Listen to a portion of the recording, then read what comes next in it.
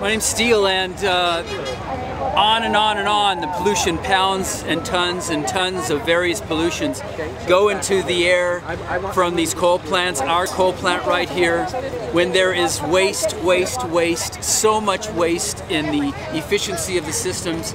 No more coal plants! No more coal plants! No more coal plants! Uh, let alone all the alternative energies that we can be using. It's just doubly stupid to be using coal when we're wasting. And there's the technology. Joe Cooper um, from Boulder, Colorado.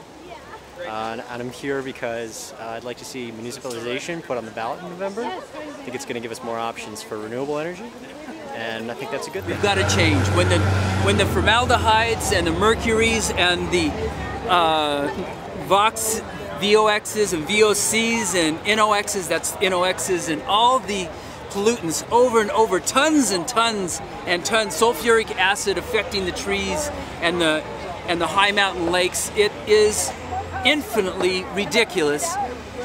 I am Tanya Holt and I'm a billionaire for Xcel. I'm an out-of-state shareholder